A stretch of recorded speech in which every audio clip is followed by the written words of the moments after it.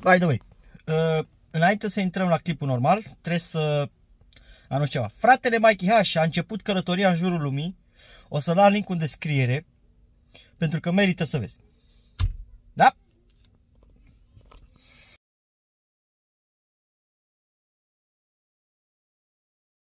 Bună pinguini, mă dragi scump. Aici tata. E duminică și e special de duminică. Astăzi, eh, nu știam ce loc să fac astăzi și așa că o să fac despre noua mașină pe care am cumpărat-o. Da. Chestia asta e cea mai tare care poate să facă parte din mașină. Ruful care era batabil, poți să închizi de aici să deschizi. Da. Uh, mașina este un Nissan Qashqai 2008. Bine, cu update-urile pe care le-am mai făcut eu, că, că ăsta. Ăla de acolo am schimbat sistemul de sunet, care e bazat pe Android acum. Nu. Interiorul din piele.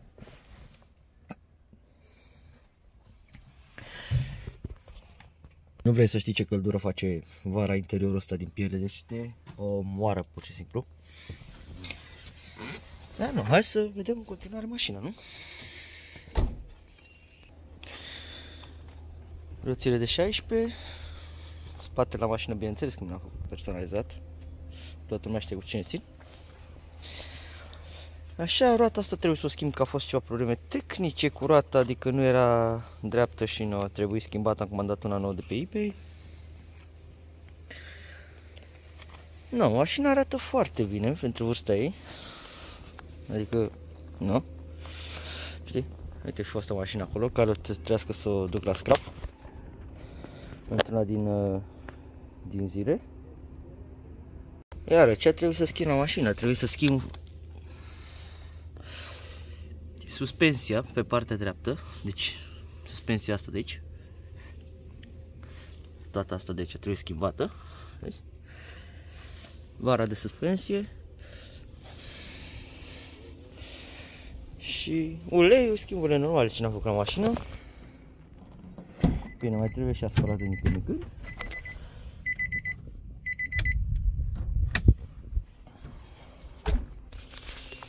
Aici e rezervorul de petrol. Deci merge, mașina merge pe benzină, e benzinară. Bineînțeles, a schimbat eu roțile la mașină.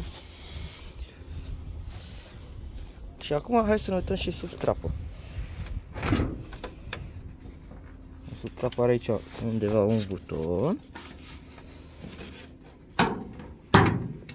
Și așa se deschide trapa la mașină.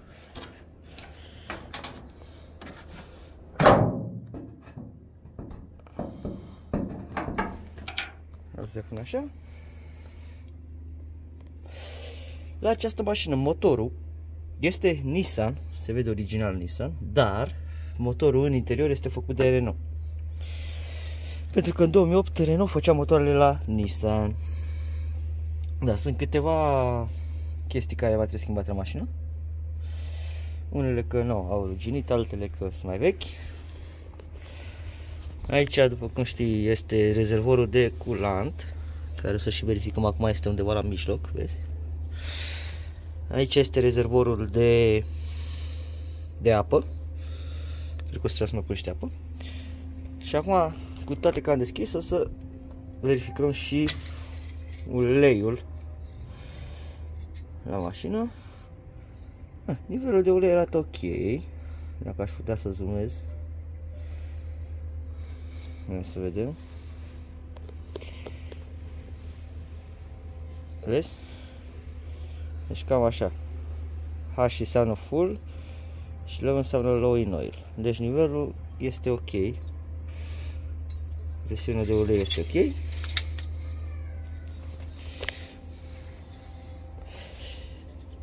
Acesta este alternatorul aici. Bine, o să, cred că o să trească cu curând să schimb și cureaua de accesorii și cureaua de distribuție. Dar, în schimb, interiorul arată foarte bine. Cum mă refer sub bonetă, da?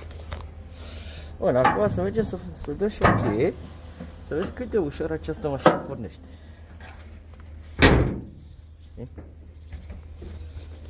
Și aceasta este, cum ar veni, mai nou daily driver. Fii atent, nu e cheie în contact, da? Toată ușa deschisă că e cam cald acum, da? Nu avem cheie în contact, da? Cheia se află în buzunarul meu. Și cât de ușor această mașină poate fi pornită.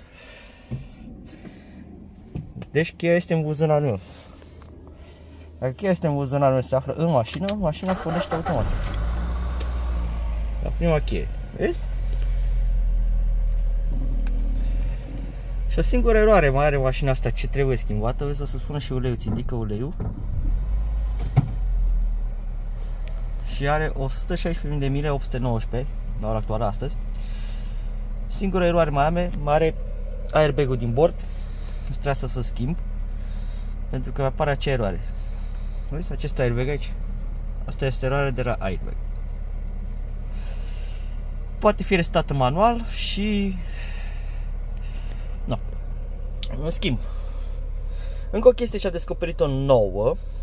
Bun, ă, sistemul de mașină. Ăsta l-am schimbat eu, l-am pus acum. Sistemul de mașină... Avem voie să punem muzică pentru că ne suspendă YouTube-ul. Sistemul de mașină este cumpărat de pe Amazon. Eu l-am montat. Îți vine cu tot cu aerisirea. Aerisirea se apasă de aici, pornește singură. Eu am setat de obicei la 20 de grade, pe automat, pornește singură, dar acum suntem parcați aici și nu. Deci da, mașina este foarte spațioasă, după cum vezi. Sistemul de operare, acum intră automat Android Auto când deschizi mașina.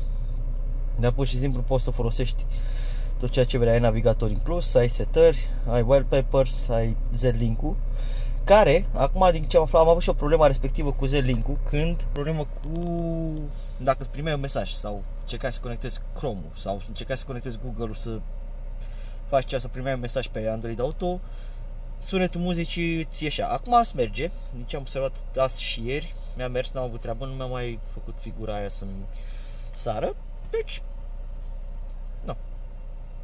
Cam asta este despre noua mașină. Și cam asta este vlogul de duminica asta. Până duminica viitoare, pinguinul meu drag și scump. Nu uita cât ai te iubește. Ne vedem curând. Și ne vedem duminica viitoare. Bye!